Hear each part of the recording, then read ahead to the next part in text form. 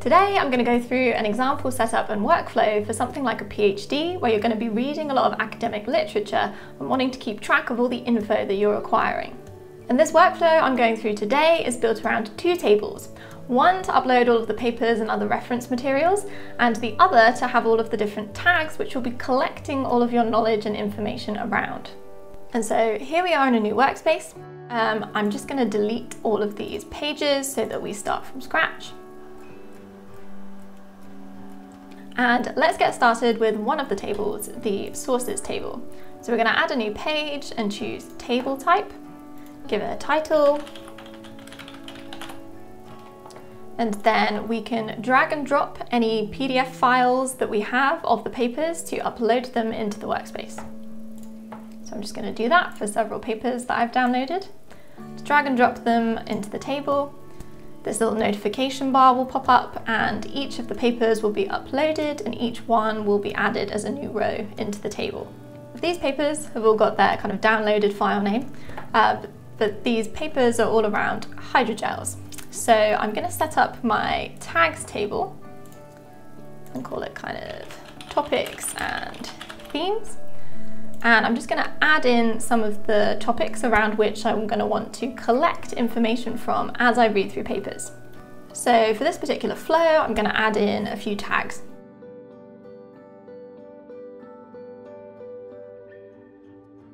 So I'll start off with those to get me going and I can always add more as I'm going through the papers. So the reason I've set up the tags in a table for this workflow is because on Protolyst, tags that you want to use across your workspace need to be added as pages. So by having a table, I've got all of the tags that I might want to have and look at and refer to all in one place. So if I jump back to the sources table and open up one of these papers, I might just update the title there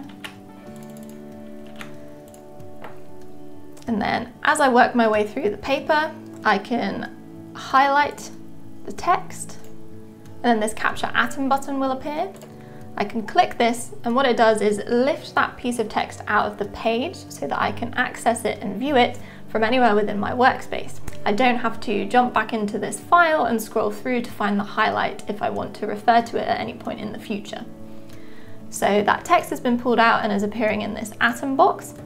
Um, I can add tags to an atom by clicking here and it will give me a list of all the pages in my workspace so I can scroll through till I get to the topics and themes table and use the relevant tags that I want to do by clicking on them here. Or I can just start typing the name of the tag and when the page comes up, select it. And so this atom is now saved and it has tags to hydrogel and gelation. And I can continue going through, highlighting and capturing atoms and adding those tags to start to build up that information around those topics of interest. And as I add more information into my workspace, I might start to realize that there are other tags that I might want to be grouping my info around. And I can add those tags on the fly by just typing in the name of the tag and then adding it into my workspace as a new page. So as an example, if I wanted to add scaffold as a topical theme, I could type it out and then click this add scaffold as new page option. And then I can choose the location of where that page or tag will be created in my workspace. So because I want this to be a tag, I'm going to add it into the topics and themes table, which is where all my other tags are located. And so then the tag is created and this atom has been tagged with that new tag. If I jump back to the topics and themes table, you will see that the scaffold tag has been added into that table here and there is an atom that I've captured and tagged to it also displaying in this atoms column here. So to talk more about how the atoms work in this workflow, um, I'm just going to take a moment to capture some more atoms from across the other papers that I've uploaded here. So I've now been through all of those sources that I uploaded, capturing atoms and making use of tags throughout. So my sources table now looks a little bit like this. Um, to delete any properties in your source table, you just click on the property header and then use delete property. Um, we're not really making use of subpages here, so I'll get rid of that one. You can also use the properties in a table to add any further info that you might want to have to hand about the sources that you're adding into your table. things like the year of publication, the journal, the first author, and anything that you would like to have in your system.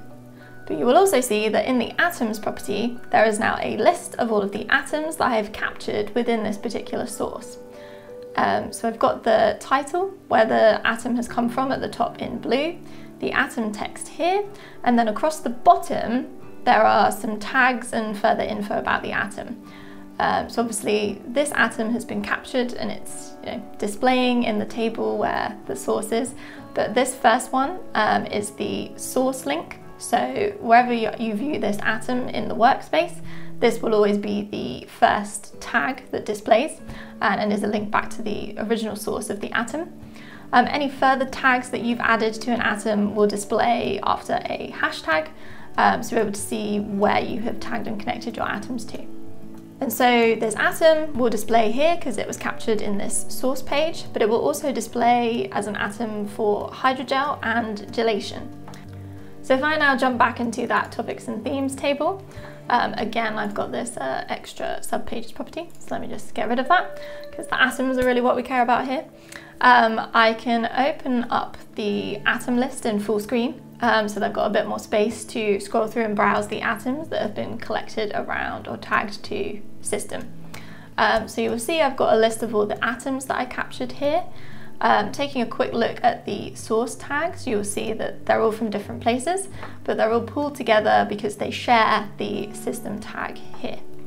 So if I jump back into that topics and themes table, so by using the tags, I'm starting to collect all of the atoms and nuggets of info from across all the different sources that I'm reading around a particular topic or theme. What we can also make use of tags to do is to build kind of uh, atom overviews.